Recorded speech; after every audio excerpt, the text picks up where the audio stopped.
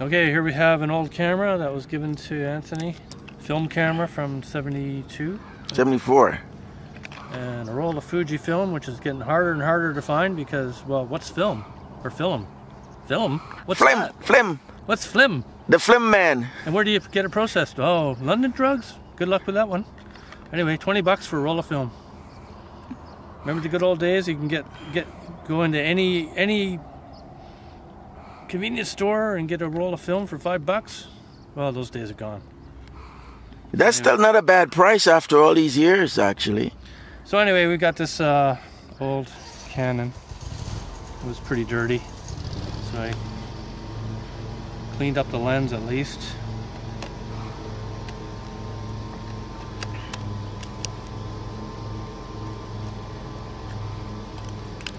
The inside is pretty good. Not too bad. So this is the unveiling. Oh, it's even got a Barcode. QR code. VR code or whatever it's called. QR code. QR code. Hey, Can you gotta get your acronyms right. Hey man, I just I just awoke from a 20 year uh, coma. Slumber. I'm going, what do you mean you can't buy film anymore? And he's got his Magnum PI shirt too. Digital camera.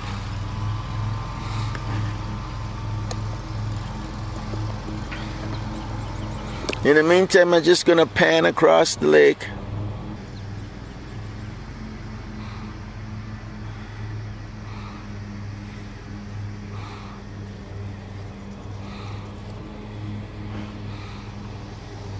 So film, film canister for all you newbies who've never experienced film.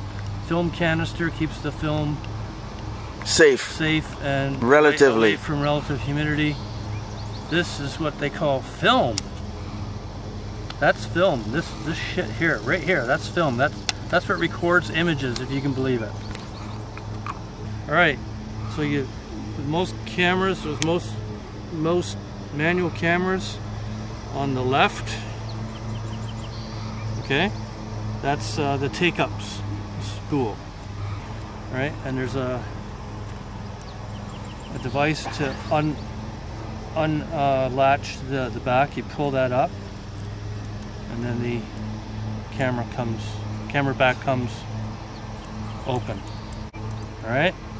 So now you put your film in like that. Make sure the sprockets line up. Yeah. Okay. And then you take the film out and you tuck it in one of these little grooves here.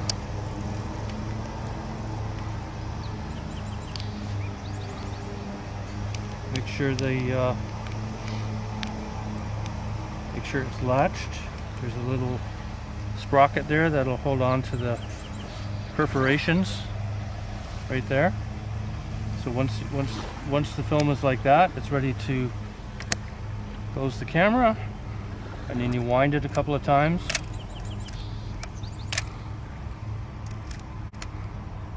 Until you get to zero on the counter. Now this is the 36 exposure uh, film, so we got 36 pictures. And what we're going to do is we're going to take 36 individual pictures. There's no not going to be any bracketing, nothing. It's just going to be 36 pictures and that's it. So here we go. First picture, I'm going to set the camera to the Sunny 16 rule, which is f16 over 1, 1 over the uh, shutter or the ASA, ISO of the film. So in this case, it's a 400 400 speed film. film.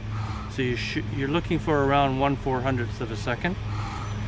In this case, it's 1 500th of a second is closest. F16 by opening up to F11 and a half. And I'm going to leave it there. Sunny 16 rule. If it's anything other than sunny, then you have to use a different a different formulation, but basically if it's sunny out, it's one one over the film speed, one four hundredth in this case. Mm -hmm. Okay, at f sixteen.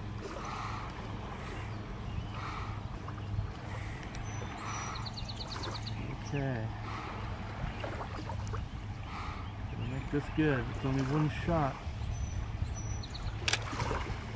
Alright, that's the first one in the can. It's time to move on.